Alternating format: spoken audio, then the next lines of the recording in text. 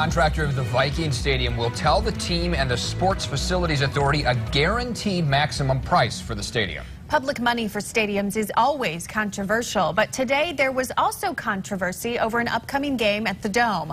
Our Tom Hauser has details on both issues tonight from the newsroom. Tom?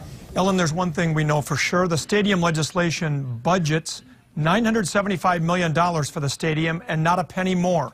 The question to be answered next week is how much stadium can you get within that budget? Mortenson Construction produced an animation showing how construction of the new Viking Stadium will proceed as the Metrodome is slowly demolished. But the question remains, how much will this new stadium cost?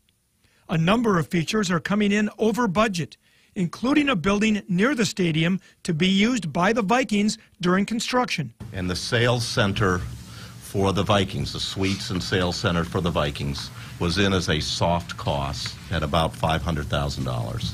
The cost is significantly higher than that. The actual cost for that sales center is about $1.5 million. The question to be answered is how many other costs have gone up and will some stadium features have to go? Next week, Mortenson Construction must give the authority a guaranteed maximum price for the building.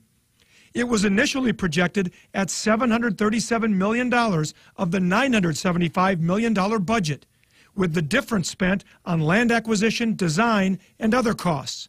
They're not running around with their face painted and chicken feathers in their hair and war paint on. Meanwhile, the authority dealt with controversy brewing in the current stadium. Clyde Bellecourt of the American Indian Movement says he'll bring hundreds of protesters to the Metrodome to the Washington Redskins game next month. The uh, R word is no different than the N word. You know, would they have a mascot here called Little Black Sambo? No, no. And that game again is on November 7th, and they do plan to protest. Under the current stadium legislation, the budget for the stadium cannot exceed $975 million. If that budget doesn't allow certain features the Vikings want, they'd have to pay for it themselves. Live in the newsroom, Tom Hauser, 5 Eyewitness News.